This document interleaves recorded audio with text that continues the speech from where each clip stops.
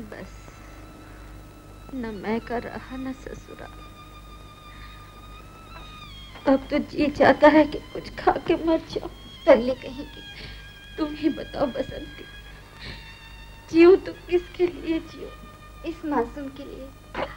अपने देवता की निशानी के लिए। लेकिन बसंत, लेकिन क्या? हौसले और धीरे से काम लो, लाजू। मुझे को देखो ना। क्या नहीं गुजरी मेरे साथ? उस पर पिताजी का साया भी उठ गया। बस चार अक्षर पढ़े थे वही काम आ गए नौकरी भी मिल गई और लो ये भी आ गए। सुना आपने?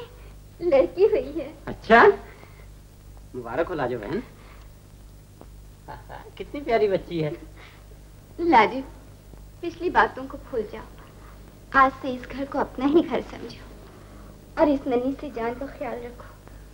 इसी में उनकी आत्मा को शांति मिलेगी। मगर अपने आत्मा को तभी शांति मिलेगी जब हम अपनी भांजी को अपने सीने से लगाएँगे।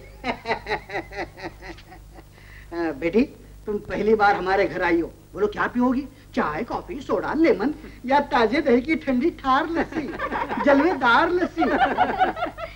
तू क्या ही, ही, ही कर रही है? ये तेरे बाप का घर नहीं जहाँ मेहमान को पानी तक नहीं पूछा जाता। क्यों बेटी ठीक है ना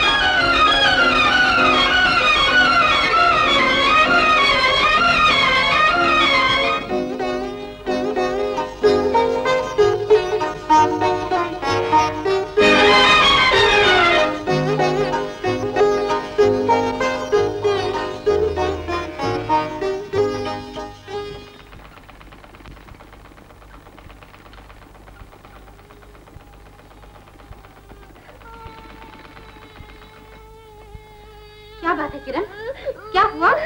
मैं स्कूल नहीं जाऊँगी मास्टर जी ने मुझे मारा। तूने ज़रूर कोई शरारत की होगी। बोल बोल क्या किया? मैं मैं स्कूल का काम करना भूल गई थी। तो फिर ठीक है तो क्या मास्टर जी ने? चल वापस स्कूल। मैं नहीं जाऊँगी। नहीं जाएगी। क्या से नहीं जाएगी? चल। क्या हुआ दीदी? किरण को क्यों मारा? काश मेरे भैया ने भी मुझे ऐसे ही मारा होता। तो मैं ज़िंदगी की मार से बच जाती